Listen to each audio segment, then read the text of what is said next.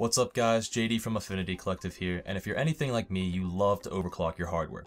CPUs, GPUs, but what about monitors?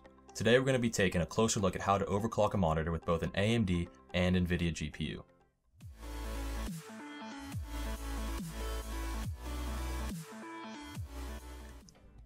When you overclock your monitor, what you're doing is dialing up the refresh rate of your panel.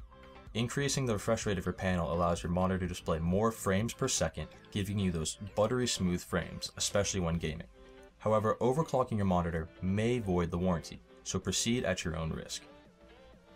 To get started when using either an AMD or NVIDIA card, we'll download CRU, or Custom Resolution Utility, which is linked in the description below.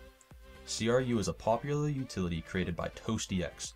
It allows you to create custom resolutions and change all sorts of options, but we're interested in bumping up the hertz and keeping the automatic settings.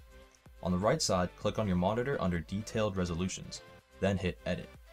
At the bottom of the menu will be a refresh rate. Change it to whatever you feel comfortable doing. It will change the other settings to go with it. Once you've done this, hit OK and hit OK again. Then run the restart.exe that corresponds to your operating system. If you're on a 32-bit, you choose the one that's labeled restart, and for 64-bit users, the one labeled restart 64. If the display does not return within 10 seconds, you can hit F8 to disable the changes you made. You can check out these steps at the link in the description below.